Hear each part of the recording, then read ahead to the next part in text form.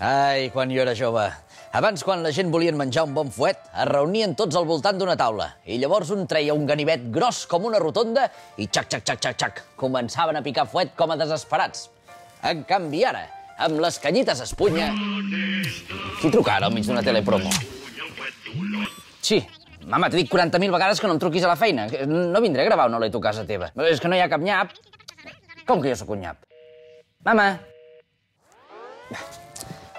En fi, per sort, els temps han canviat i ara ens podem menjar un bon fuet on vulguem.